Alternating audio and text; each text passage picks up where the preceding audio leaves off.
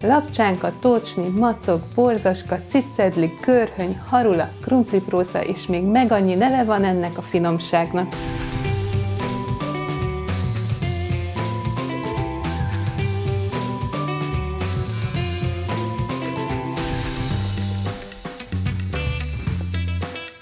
Azt hiszem a legtöbb helyen ez recept nélkül szokott készülni.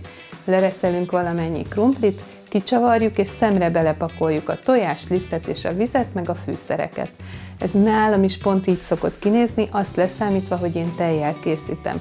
Viszont ez így nem lenne egy jól használható recept, sokra nem menne vele egy kezdő, ezért dekára kimértem a nagyon pontos anyaghányadot, és ma ezt mutatom meg nektek, na lássunk is neki. Először a lisztet szórjuk a tálba, majd két tojást egyesével hozzáütünk. A tejet apránként adagolva egy habverővel csomómentesre keverjük a tésztát.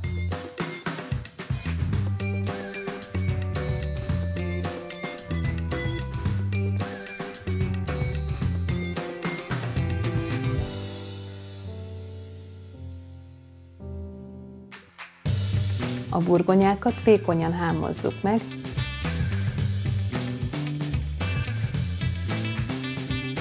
mossuk meg, és reszeljük turvára. Csavarjuk ki a felesleges nedvességet belőle, és így adjuk a bekevert tésztához.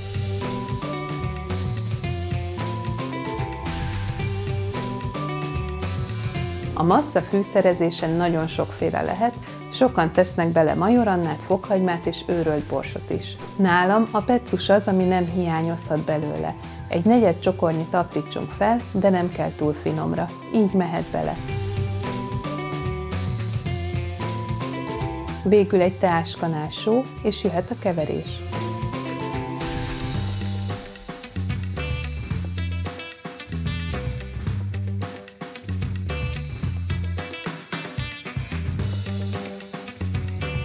Egy nagy serpenyőt hevítsünk fel közepesen erős hőre.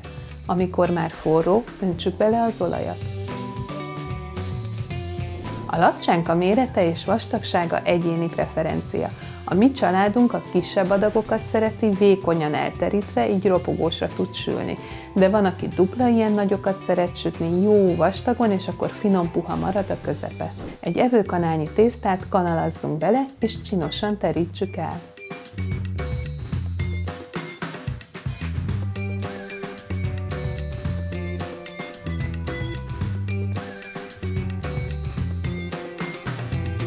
Süssük kb. két perc alatt aranybarnára.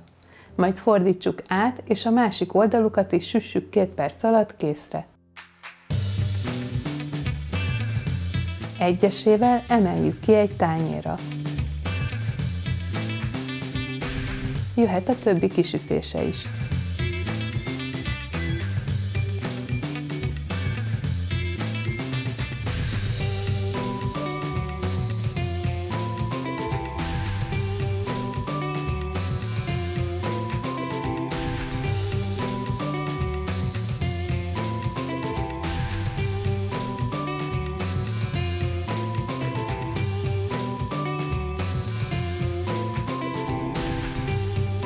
Tálaljuk friss petrussal,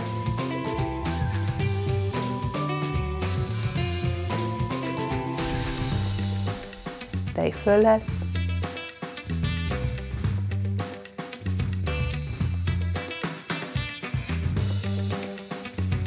és reszelt sajttal.